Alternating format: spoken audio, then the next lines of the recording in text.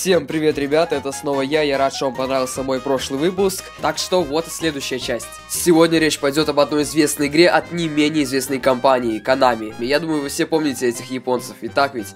Кто-то знаком с ними по Battle City, кто-то по Country, а кто-то по Silent Hill. Например, я. Я им очень благодарен за эту франшизу, и в то же время хочется задать им вопрос. Куда вы дели Team Silent? Эй, но речь сегодня идет о забавном платформере под названием Tiny Toon, или же правильно Tiny Toon, чтобы меня не загрели. Для начала стоит отметить, что Tiny Toon это некое ответвление для сериала Looney Tunes, где персонажи более маленькие, более няшные, ми-ми-ми-ми-мишные. Сериал был весьма популярен, скажем так, лично мне он даже нравится больше, чем Looney Tunes.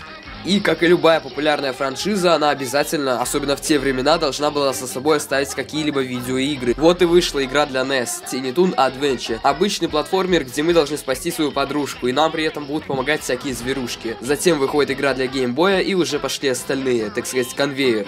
И не все из последующих игр можно назвать хорошими. Например, игра для первой PlayStation была, мягко говоря, убога. А сейчас делать игры по мультикам это не очень-то прибыльно. Проще сделать игру для айфона. И вот мы плавно подошли к гвоздю программ, а именно игра Tiny Toon Adventures для Sega Mega Drive.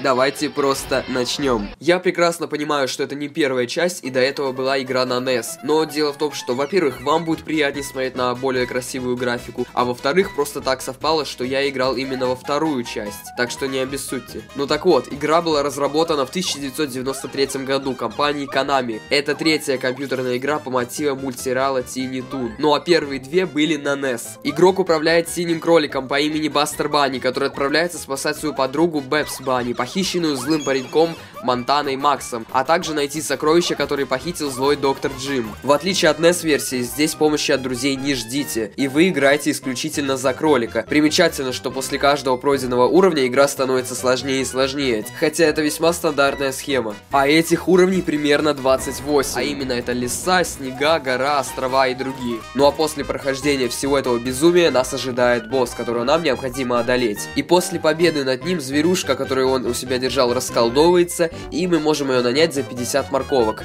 Эти же самые морковки мы можем собрать на протяжении всех уровней. Ох уж этот мир стереотипов. Ну, знаете, кролик, морковка и все дела. Но в конце нас засасывает черная дыра!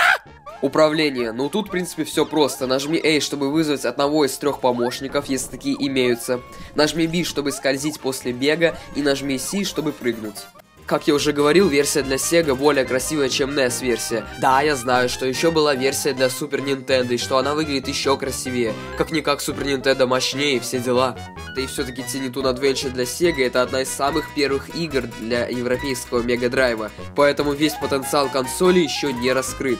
Но в плане геймплея эта игра однозначно лучше, чем версия для SNES. Как по мне, она какая-то скучная, вялая, да и вообще фу. Игровой процесс. Знаете, на самом деле это самый что и на есть обычный платформер, но его механика явно позаимствована. А именно, я бы сказал, что эта игра наполовину взяла механику из Марио, то есть все эти точные прыжки по платформам и тому подобное, и также механику из Sonic the Hedgehog. Например, если мы какое-то время двигаемся в определенном направлении, то он начинает вертеться прямо как Соник. Хм, прямо беспалевный плагиат.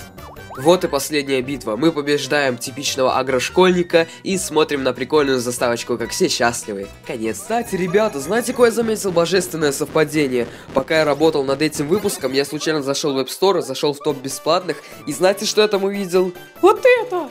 Что, что, что, что это такое? Что, что, что, что ты бегаешь, а? Фукака! Ну что ж, в принципе, на этом все. Но если вы хотите узнать побольше информации про франшизу, и этого ролика вам оказалось недостаточно, то милости просим на канале Brain Ant, то бишь на канале, где вы это, скорее всего, и смотрите. Есть видеоролик, где подробно рассказывается про всю франшизу, то есть не про конкретно какую-то игру, а про серию игр, про персонажей и тому подобное. Так что вот ссылочка, можете посмотреть.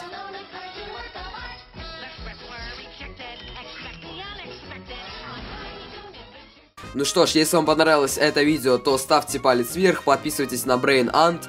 Ну а также, если хотите, можете заглянуть на мой канал, ссылочка будет в описании. Ну что ж, всем удачи и всем пока.